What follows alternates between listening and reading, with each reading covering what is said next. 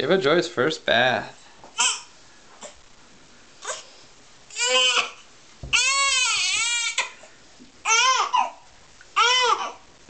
Ooh. We got a diaper on. Ava, what is this? What is this warm fuzziness? Yay! Your first Biffy. It's your first Biffy. What do you think? I think she likes it. I think so too. Alright, let's do your little face.